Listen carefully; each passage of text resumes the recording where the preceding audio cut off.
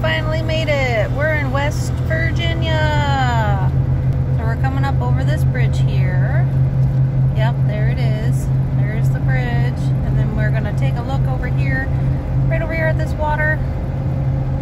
So cool. And here's the sign. Yep, there's a sign. Welcome to West Virginia. To West Virginia, we're going to be heading towards the Hatfield McCoy um, trails. Do you remember where we're staying? Delbarton. Mount Burton? Delbarton. Oh, Delbarton. Delbarton, West Virginia. Um, so we will be making videos on that. But I have been working since it's. How long did it take us to get down here? Uh, eight hours. Eight hour drive. I did work on a um, video of Elmira. So there is a video of Elmira coming soon.